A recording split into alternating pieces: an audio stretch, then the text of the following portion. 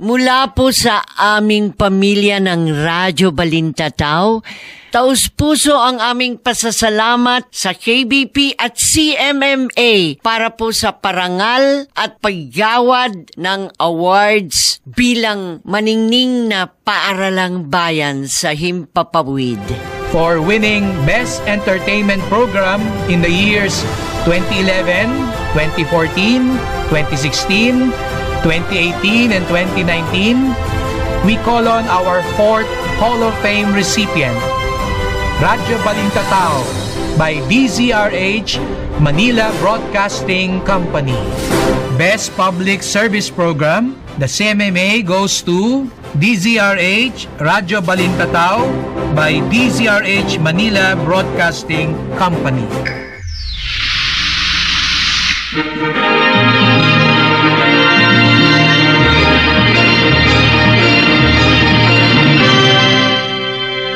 Inihahandog ng Dialect Phase, ang Philippine Center of the International Theater Institute at ng Earth Savers Movement sa pakikipagtulungan ng NBC, ang Manila Broadcasting Company ang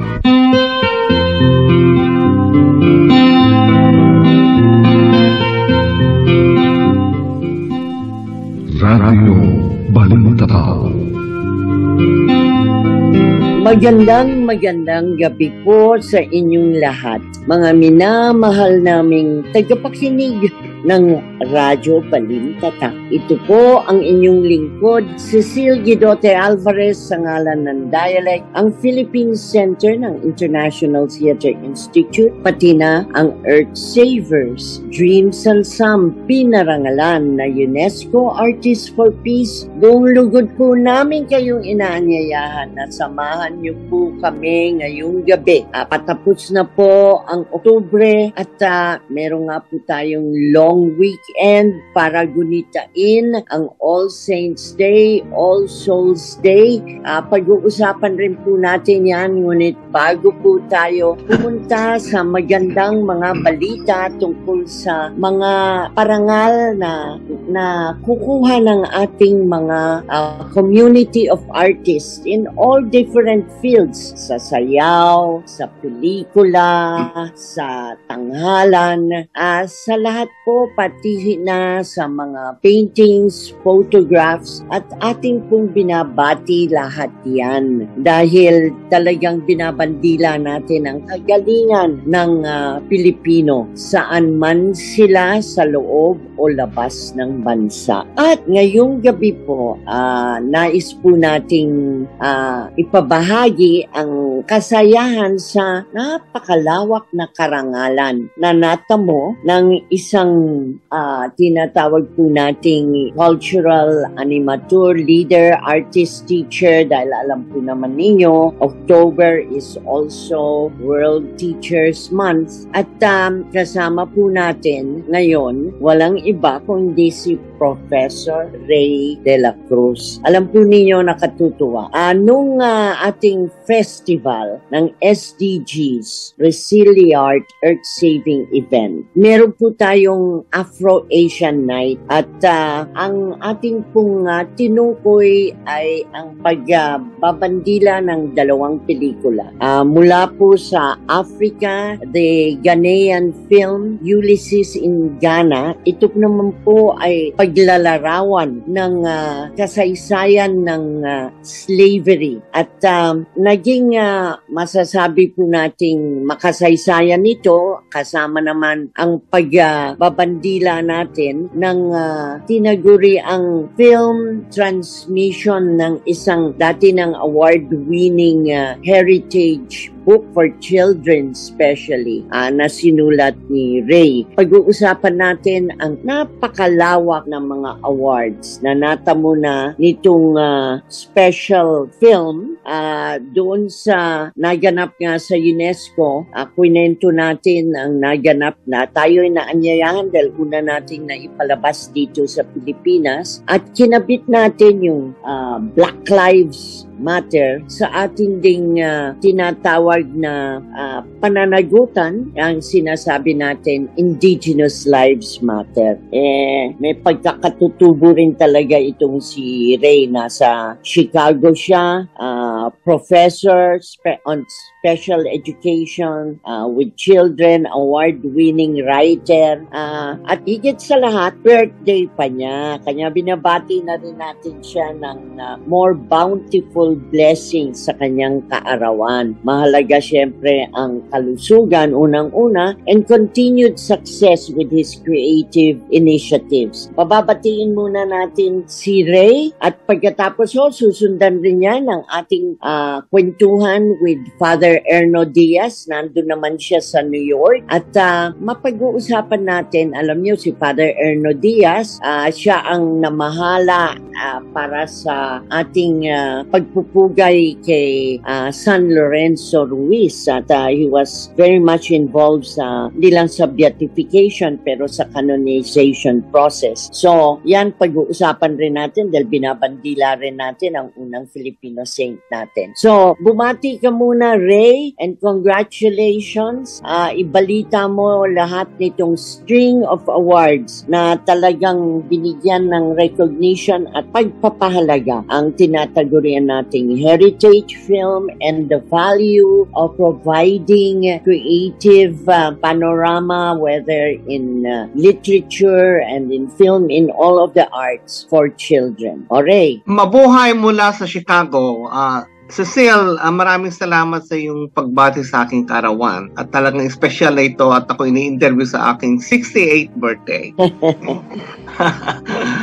Ah, yung sinulat kong libro ay tungkol sa aking ah, pagka, ang aking childhood sa Ballesteros, Cagayan. Okay? So, um, sinulat ko yung librong yon Tapos noong ah, 2018, ah, pumunta si um, Nick De Ocampo, film historian at saka documentary filmmaker. Tapos sabi niya, Ray, bakit hindi mo gawing animation yung libro mo? Dahil ka- kinakailangan natin sa Pilipinas yan. Oh, ah, sa, sinabi ko sa sarili ko, it might will never happen. But yun ang pinag-isipan ko And um, I asked my nephew, si Ronnie Garcia, to look around sa mga animation, animators sa Pilipinas. Then all, uh, all along, yung aming, yung isang pamangking ko sa Montreal na si Carlo Garcia Hino, nagsisimulang gumawa pala siya ng animation. So doon nagsimula ito, okay?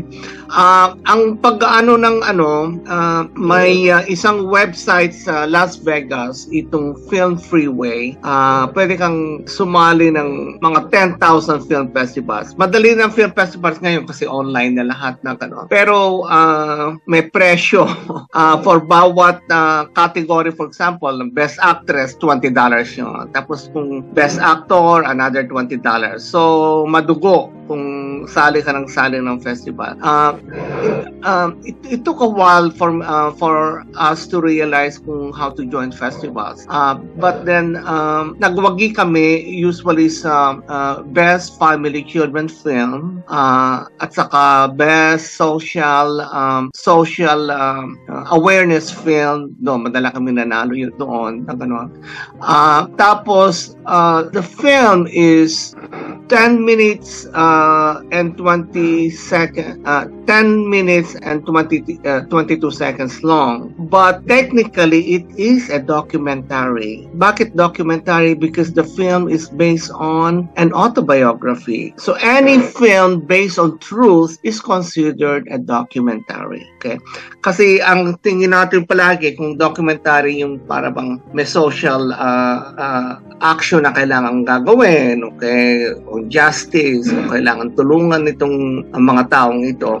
At the same time, may mga feature din uh, katulad ng uh, Peruvian weaving, uh, Peruvian weaving or Chinese uh, pottery or Chinese vases na kanon. So malawak na ano yon na na area yon. Pero sa akin, um, um, nanalo rin na kami ng mga best director, si Carlo Garcia Hino, at nananalo na rin kami ng best producer, si Edwin Josue, na taga New York. At sa akin, uh, sa, um, kasi akong screenwriter, uh, so far, anim ang pinanalunan ko. Um, Una-una, best script in short uh, sa Dubai Independent Film Festival sa United Arab Emirates. Uh, pangalawa, best original story sa Prague International Film Festival sa Czech Republic. Pangatlo, best short screenplay, Roma Shorts Film Festival sa Italy. Uh, pang-apat, best original screenplay uh, sa Montreal Art House Film Festival sa Canada. Uh, panglima, best short script, Nashville Independent Filmmakers Festival, Tennessee. Uh, at pang-anim,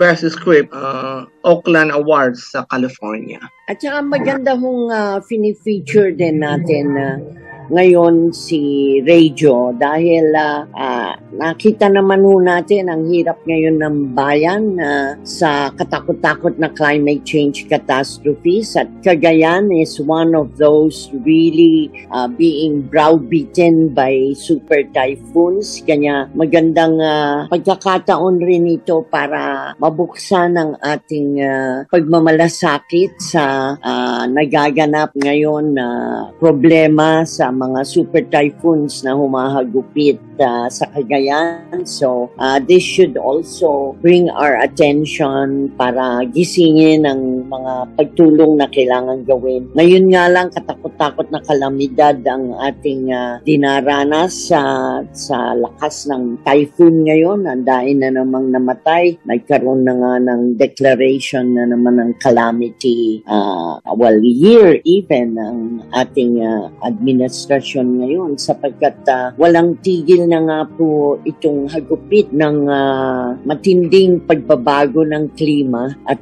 uh, napakahalaga nga itong darating na Nobyembre na sana lahat uh, ng mga bansa ay magkaisa na ipatupad ang Paris Accord with emergency action na hindi lang sa salita at hindi lang sa pangako at mapatupad, hindi ba? So napakaganda po nito itong paggunita at pag-alala at paggising ng pagmamahal sa tinubuang uh, lupa o kinagisnan. Uh, ito yung Ballesteros on your mind at uh, atin na pong uh, narinig yung kwentong yan dito sa Radyo Balintataw kaya tayo nagagala na sa paglipat nito in the film uh, animation format ay binibigyan ng pagkilala itong kahalagahan ng tinatawag na heritage. At saka itong pagwagi nila ay magandang halimbawa ng pagbibigay uh, ngayon diin sa creative industry. At ito ay mahalagang halimbawa na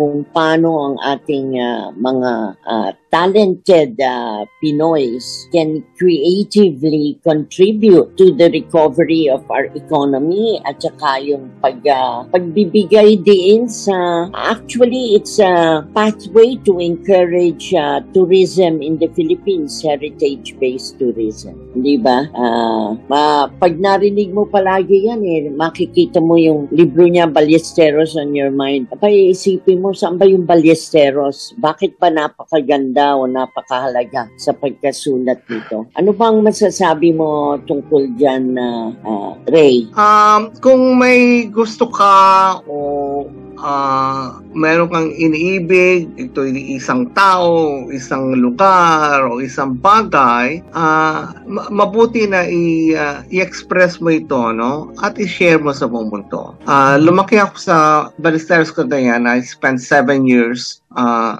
of my childhood there. And it was really, really memorable. And I wanted to share it with the whole world. Kaya sinulat ko yung libro. Tapos ngayon, ayun uh, na mayroon ng pelikula, lalong napalawak ang pag-share ko sa mundo. At yeah. dapat gawin din ng ibang tao yan. Kung may gusto ka talagang gawin uh, o i-express mo yung pagmamahal, uh, i-share ninyo sa buong mundo. Alam niyo itong si Ray, napaka masyadong ah, masasabing malikhaing malikot ang kanyang ah, ah, pag-iisip ano sa panunulat. Ako nga eh masasabi ko rin na nagulat ako dahil si Ray all of a sudden just contacted me at ipapadala niya na nga ang isa na naman niyang ah, likha na gumawa rin ng parang children's parang children's version ba yun It's a children's book. Children's book. ay, children's book ah, tungkol sa hindi ko pa talaga nababasa pero ah, makikita ninyo kung ah, sinusundan nyo ang Facebook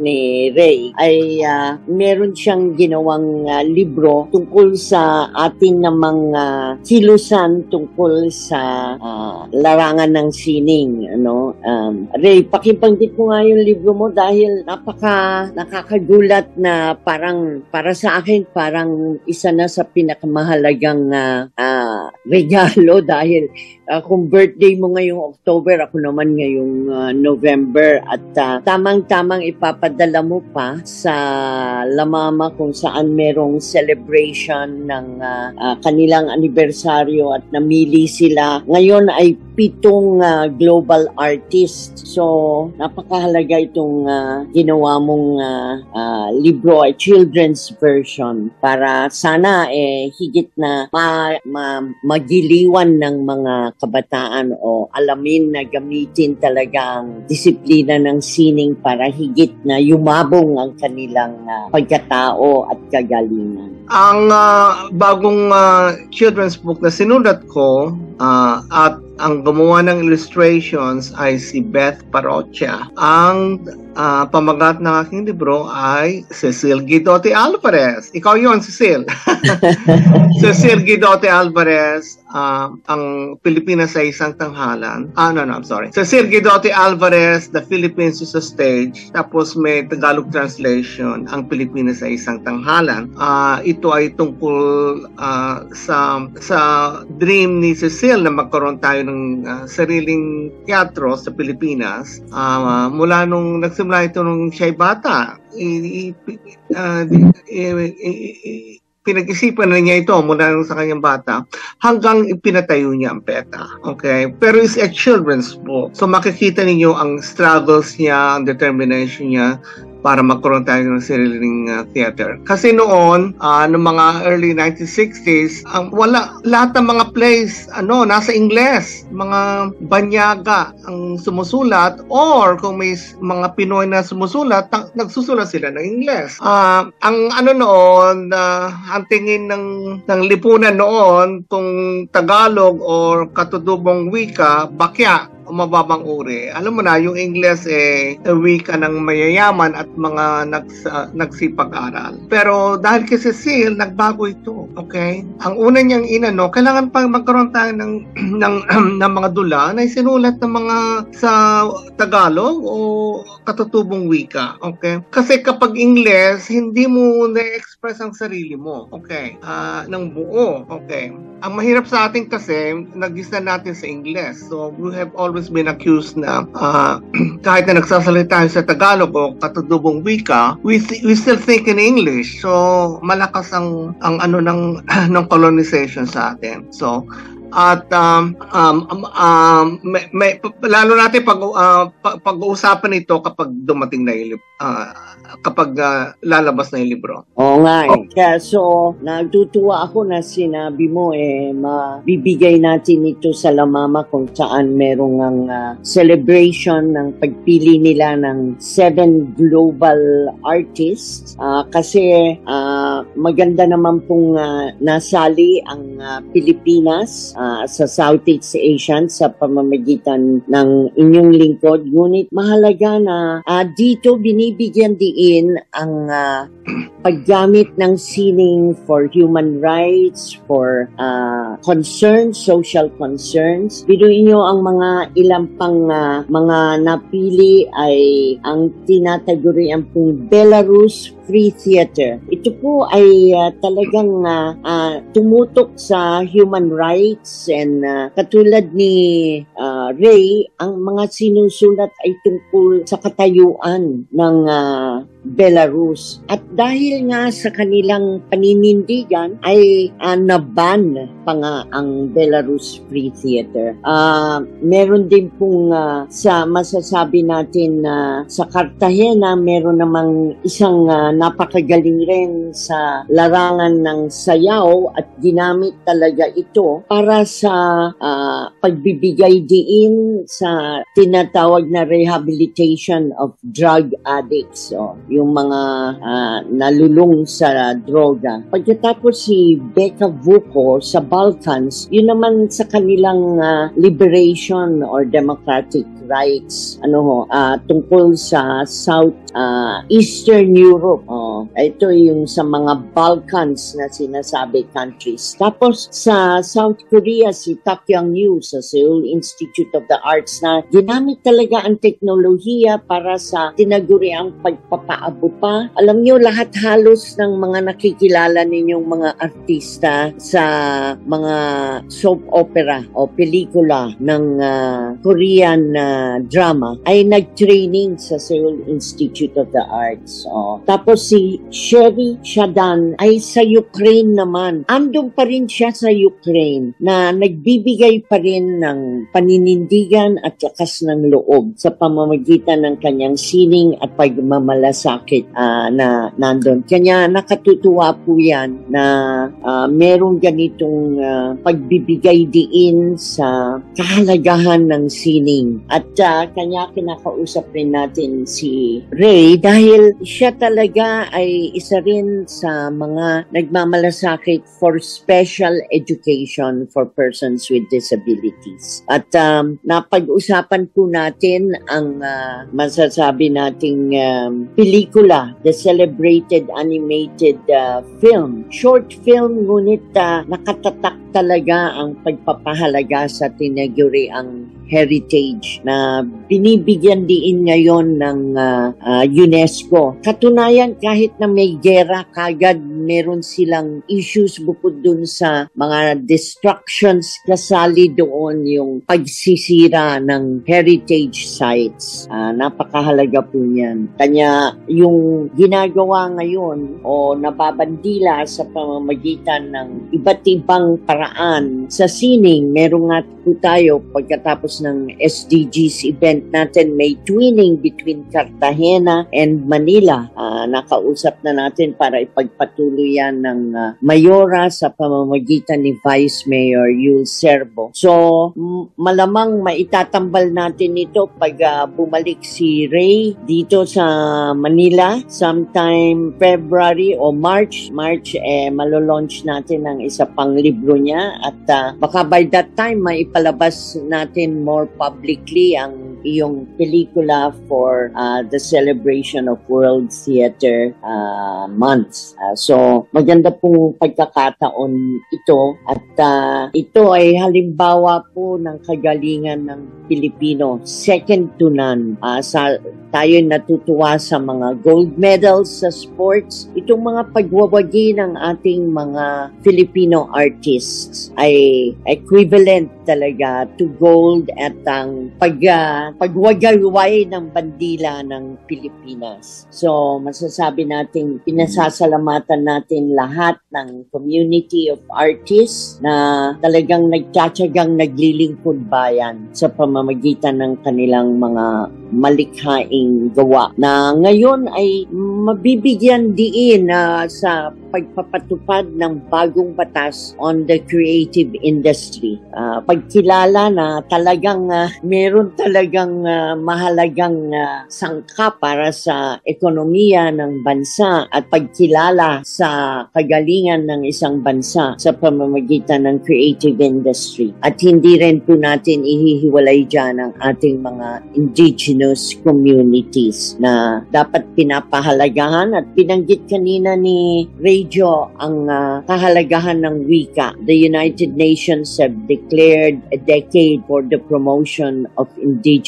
languages. Kanya uh, papasalamat tayo sa ganyang kilos ng ating mga mandilikha. So Ray, uh, pwede nating uh, ipabahagi uh, yung trailer para higit na uh, ma-excite sila na eventually mapanood dito. Siyempre, it's still going the round of the film festivals. So, wala pa tayong uh, uh, huge public viewing. Pero yung mga gustong ma-access ito, siguro you can tell them how they can uh, uh, get to you or to communicate with you, Ray. Uh, if you want to uh, see the film uh, in full, uh, you can email me, Dr. At yahoo.com. So, D as in David, R, another R, De La Cruz at yahoo.com. Dr. R. Uh, De La Cruz at yahoo.com. At uh, pwede kong ibigay Small sa inyo. letters lahat yan, ha? Small letters lahat. Small Yeah. letters lahat. Yeah, uh, again, I'm repeating it. Uh, D as in David, R, another R, De La Cruz at yahoo.com. So it's Dr. R. De La Cruz at yahoo.com. Uh, i, i, i, i, ipa, i-share ko ang ano, pero i, I will ask you not to share it with other people. Kasi ma kung magiging public kasi madidisqualify ako sa kami sa film festival but you can Okay. email me and I will uh, and I will uh, send you uh, uh, the film okay and if you're nice I might even send you a copy of the book Ayun. O, not only the book on may in my mind but the book on Oh. Cecile well, uh, we hope we can launch it when you come here in Manila. Uh, sure, 2023 March. Okay, pero magkakaroon na rin ng advance copy dun sa celebration of the Global Artist Ceremony sa New York. Pero ang mahalaga rin bago ka umalis, as a Filipino, alam mo may tradition tayo for All Saints Day, All Souls Day. And uh, mahalaga na siguro mapabahagi mo ang uh, iyong karanasan uh, as a, a Filipino overseas person, yung uh, difference ng celebration ng All Souls Day. Kasi dyan eh, Halloween kagad ng mga nagaganap, di ba? Pero uh, as the as an Filipino overseas and as you observe with the Filipino communities, ano masasabi mo tungkol sa ganitong uh, tradition migrated into a foreign country, a host country? Ah, ah, nung teacher ako, ah, dinala ko ang ah, aking mga estudyante sa Mexican Fine Arts Museum sa Chicago. Meron silang ah, exhibition sa Dia de los Muertos de los Muertos. Ah, ang this is a big ah, big thing sa mga Mexicans. Yeah. But as far as ano, usually ang ah, pag ang ano kasi ng ah, mga tao dito pag ah, ano nila sa Memorial Day or Veterans Day, doon sila pumupunta sa sa, sa cementerio. Okay? Pero sa, sa libro ko kay Cecile, ah, I I focus on the Holy Week rituals. Okay? Mhm. Katulad ng flage, yung mga flagellants, Relations. uh, yung uh, processions, tapos yung salubong. So, um, ang aking, uh, bakit ko nila, nilalagay ito, itong, uh, itong mga flagellants, yung mga processions, yung salubong, ito talaga ang teatrong Pilipino. Okay? Ang, ang, ang teatro natin sa Pilipinas ay ginaganap sa lansangan uh, at sumasali lahat ng tao. Okay? Ah, ang ating konsepto kasi ng um, theater, yung western concept, yung na, nasa kailangan sa entablado. Pero sa pero sa Pilipinas at sa mga ibang bansa, nasa ating mga rituals 'yan. Okay? Hindi natin nare-realize, pero ah, 'yun ang teatro na ginagawa natin. Ayun.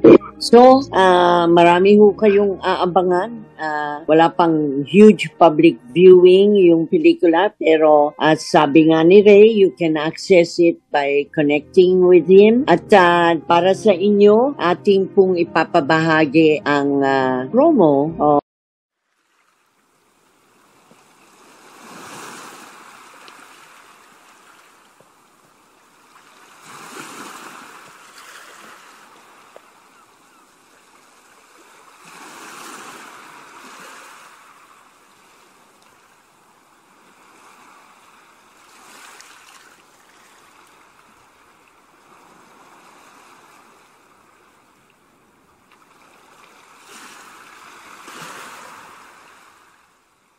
Ballesteros is on my mind. I grew up by the West Philippine Sea. My hometown Ballesteros is in the province of Cagayan, on the northernmost tip of the island of Luzon. I remember people, places, and events in Ballesteros as if they happened only yesterday. Sometimes I feel like I can still breathe the salty breeze of the sea and hear the whooshing sound of water rushing to the beach. I see my grandma Polda getting off the calesa. My friends calling me to play. Come play with us. Ray! Ballesteros is on my mind.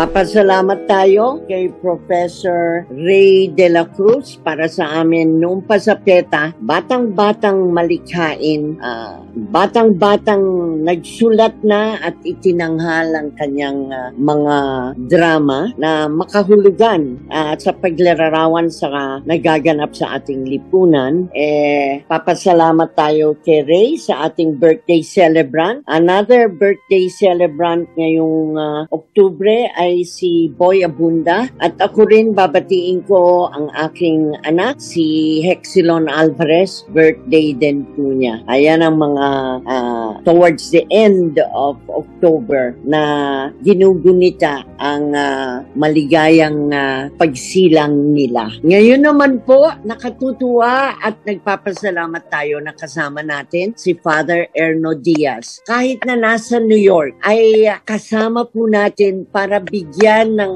mas mahalagang pagtutok ang tradisyon natin for All Saints Day All Souls Day at ah, alam po naman ninyo napakahalaga na siya ang ating kasama dahil siya ang talagang naglingkod para sa beatification canonization process at yung pag ating paghigit na pagki- pagkilala kay San Lorenzo Ruiz. Sa katunayan, masasabi po natin na siya nga talaga si Father. Ang ah, parang mukha sa likod ni San Lorenzo Ruiz. Kanya bagay na bagay, nabigyan niya muna tayo ng ah, pananaw sa kahalagahan ng All Saints Day, All Souls Day. Ano ang nagaganap sa kanyang komunidad kasama ang mga Pilipino nasa ibang bansa. Paano ginugunita itong mga mahalagang araw na ito? Alam po natin, All Saints Day, basta may problema tayo, katakot-takot po ang panawagan natin sa lahat ng mga santo, kay Mama Mary, St. Joseph, lahat na hunang santo, lalo na our Filipino saints, hindi ho ba? At syempre, napakahalaga sa atin ang paggunita sa ating mga mahal sa buhay na pumanaw na, na alam natin hindi tayo iniiwanan at nakikiusap sa langit para sa ating ah, mahusay na katayuan. Father Erno Diaz, pakisabi lang po saan ngayon ang parish ninyo dyan sa New York at ah, katatapos lang po ng misa, I'm sure ah, pagdadasal nyo kami bago matapos itong programa para sa lahat ng ating mga mahal na pumanaw at para nga lalo na ang dain na pong namamatay ngayon, hirap na hirap ang ating bansa sa walang tigil na hagupit ng mga super typhoons. Father Erno Diaz. Ah, binabati ko lahat ng mga kababayan ah,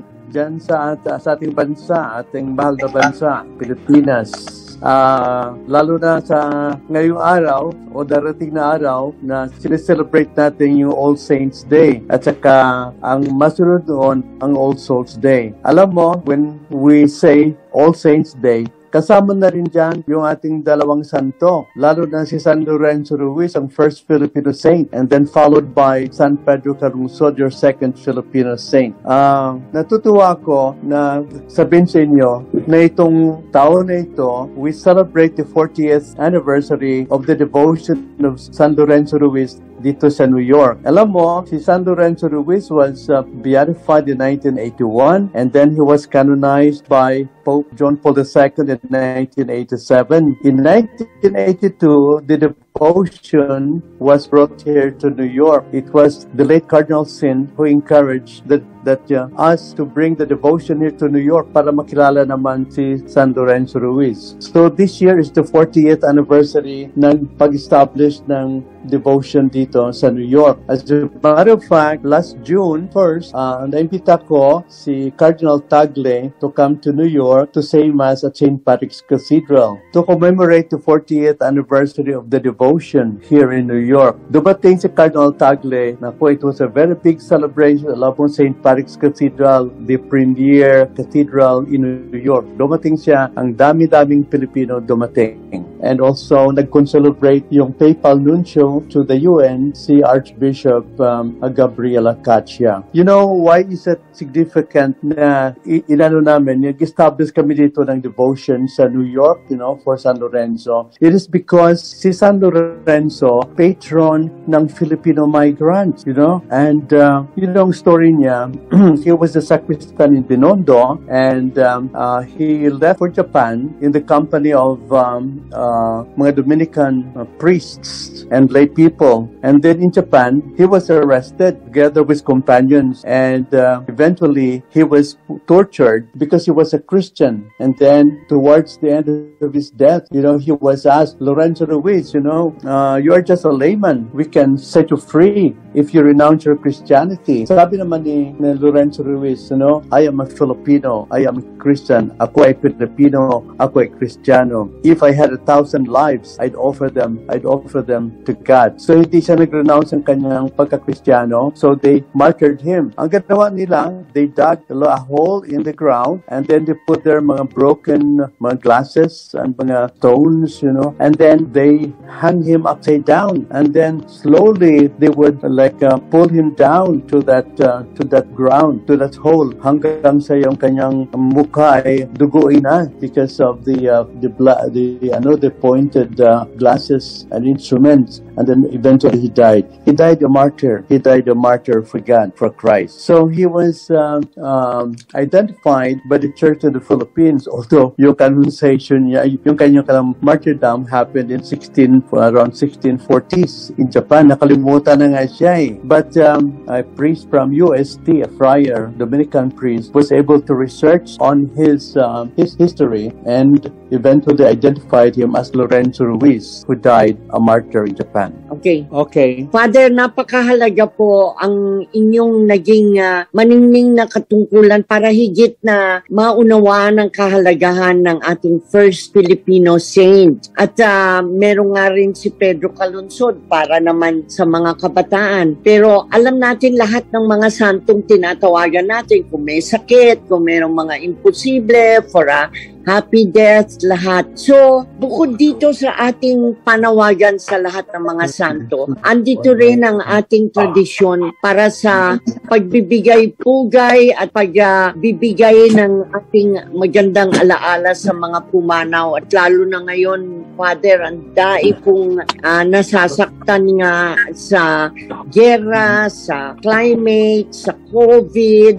Ah, pwede bang ah, ah, bigyan nyo kami ng ah, ah, mahalagang pananaw rin para sa mga pumanaw. Dahil syempre yung pagdadalamhati mahirap po yun Father. But what can be your ah, let's say wisdom to assuage the pain of people when they lose their loved ones? Alam mo si San Lorenzo Ruiz uh, ay ang ating mahal na santo sa langit. So, um, pwede tayo magdasal sa kanya sa gitna ng ating mga uh, mga ano, yung mga pains and uh, heartaches and woes because uh, we have uh, lost loved ones or, or uh, we ourselves like uh, we're affected by let's, let's say an ill like an, uh, an illness like a COVID, no? Um, si San Ruiz, San Lorenzo, Ruiz ay ordinaryo na Pilipino, ordinaryo na tao. Kaya kung magdasal tayo sa kanya, siguro he will, uh, he can relate to our pains. He can relate also to our hardship. Kaya ang ayo ko pray to San Lorenzo Ruiz, you know, to uh, to uh, to help you in your pains. Pero importante na magdasal tayo para sa ating mga mga kay mga our loved ones na namatay, you know. Uh, at saka sana hindi na ma uh, hindi na mag ano mag-return itong COVID ito the way it was mga like uh, two years or three years ago. Dito sa Amerika, alam mo, na napakahirap din dito ng sitwasyon ng COVID, you know. Yung the first six months, naku, ang dami namatay, uh, libo-libo. Tapos mayroon nga ang ospital na ang mga namatay, hindi na nila ma-accommodate sa morgue nila. Nilalagay na lang nila sa truck at sa yung mga katawan ng mga namatay kasi hindi na ma-accommodate sa ano sa ospital. It was like that. Ang situation, the situation was terrible. But anyway, we were able to get over this. And now, the COVID is, seems to be easing up. Pero, let's continue to pray. Continue to pray na hindi ito bumalik itong COVID na ito. Um, ang payo, ang ano ko din na yung mga ang ating bansang Pilipinas, maraming mga ano, calamities ano, at saka maraming paghihirap. You know, there's so much, there's so much uh, misery, there's so much uh, poverty in the Philippines. Sana man lang the Lord will help the Philippines parang raise um, uh, raise itself from poverty. Let us pray. Into your hands, O Lord, we entrust all our brothers and sisters who have gone before us in the hope of the resurrection. As we commemorate All Souls Day, grant the Lord that the souls of all the faithful departed, especially those who have died from COVID and those also who have died from this uh, from and all our loved ones who have passed, rest in peace. O Lord, through the intercession of San Lorenzo Ruiz and San Pedro Calungsod, we also ask you to please protect all our loved ones, our families and friends from the ravages of the disasters of the Philippines. We entrust them into your loving care. You are our Father, we are your children, and we ask you to bless all of us and protect us always from all evil and all harm. We ask this through Christ our Lord. Amen. God bless you all. Ang dasal po ni Father Erno Diaz ay para po sa lahat ng ating minamahal na pumanaw na at alam po natin ay andun na sa yakap ng ating Panginoon sa langit at tayo ay ginagabayan uh, sa lahat ng sinasabi po nating uh, salot at hirap na ating hinaharap. At uh, nandyan din po para maibsan ng dalamhati ng mga pamilya na lalo na ngayon po ay nabiktima ng sakit, ng pagkamatay, ng uh, hagupit ng uh, anumang karahasan na nagaganap. At sana nga po ay mamayani na ang kapayapaan sa ating bansa. Ito po ang dasal awit. Panginoon, ah, hilumin mo ang aming nasisirang bansa. Sangayon na rin sa awit ni Jamie Rivera.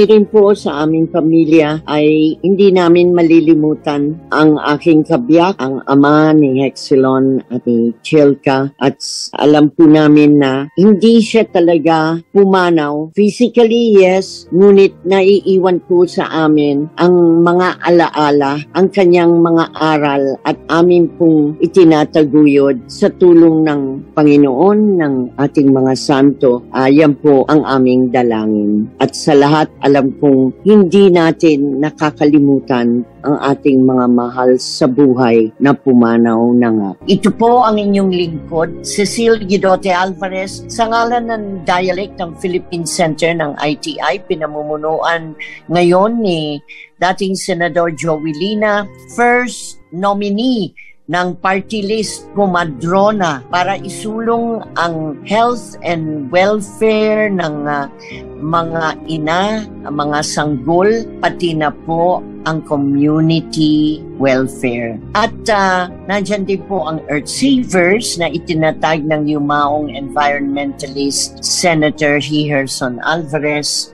Nagpapasalamat po kami sa inyong walang sawang uh, pagmamalasakit pakikinig sa Radyo Balintataw.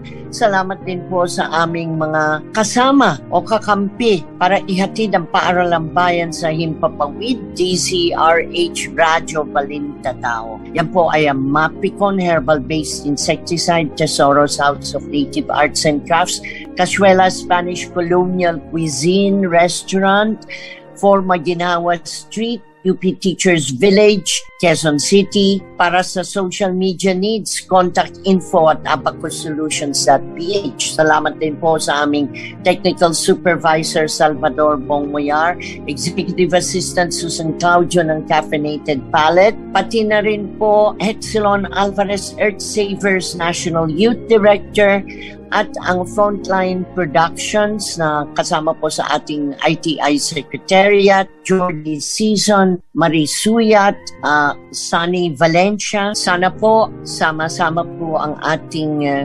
pakikiisa para sa kapayapaan, para sa climate justice at uh, patnubayan nawa tayo ng Panginoong Diyos para sa atin nakikiisa po tayo sinasaluduhan ang mga Ukrainians sa kanilang paninindigan sa kalayaan at demokrasya. God bless them. Mabuhay ang Pilipinas.